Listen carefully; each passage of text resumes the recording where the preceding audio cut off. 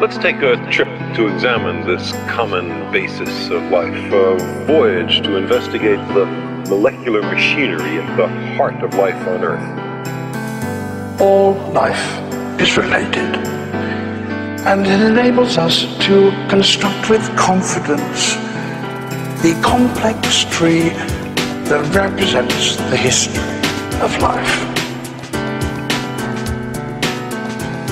Our planet the Earth is, as far as we know, unique in the universe.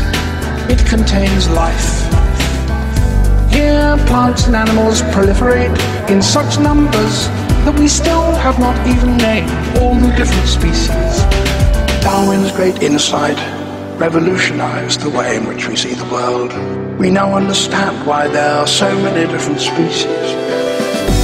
Every cell is a triumph of natural selection, and we're made of trillions of cells. In us is a little universe. Those are some of the things that molecules do. Given four billion years of evolution, we are each of us a multitude. Now, how did the molecules of life arise? It began in the sea some 3,000 million years ago. Complex chemical molecules began to clump together.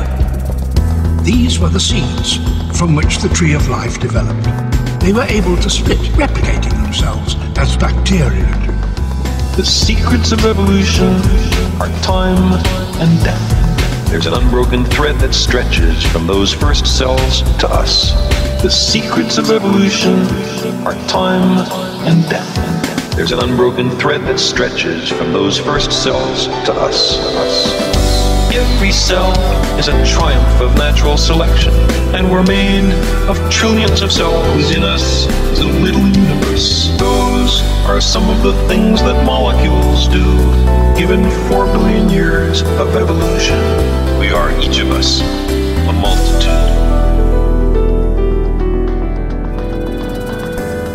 There isn't a sharp line dividing humans from the rest of the animal kingdom. It's a very wuzzy line. It's a very wuzzy line. It's getting wuzzier all the time. We find animals doing things that we, in our arrogance, used to think was just human. human. It's a very wuzzy line, it's getting wuzzier all the time. Every cell is a triumph of natural selection, and we're made of trillions of cells. In us a little universe. Those are some of the things that molecules do. Given four billion years of evolution, we are each of us a multitude. Every cell is a triumph of natural selection, and we're made of trillions of cells. In us is a little universe. Our planet, the Earth, is, as far as we know, unique in the universe. It contains life.